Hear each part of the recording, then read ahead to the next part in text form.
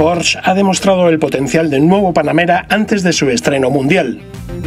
El piloto de pruebas Lars Kern ha logrado un tiempo de 7 minutos 29 segundos 81 centésimas, estableciendo un nuevo récord en la categoría de berlinas grandes dentro del ranking oficial del circuito de Nürburgring que ha quedado certificado ante notario.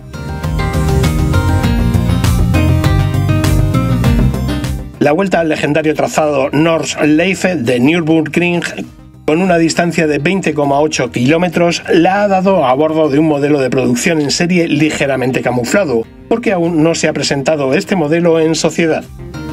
Las mejoras realizadas en el chasis y el sistema de propulsión del nuevo Panamera fueron claves para lograr este tiempo en el que se conoce como el circuito más exigente del mundo, dice Kern. El Panamera siempre ha buscado conjugar la máxima deportividad con la comodidad de una berlina exclusiva. Thomas Friemuth, vicepresidente de la gama de producto Panamera, ha declarado que en esta nueva generación, además de aumentar la potencia del motor, se han realizado mejoras en las áreas de estabilidad en curva, control de la carrocería y precisión de la dirección. Todo ello se traduce en un mayor confort para el día a día y en una mejora del rendimiento. El récord que se acaba de lograr en Nürburgring es una clara prueba de ello.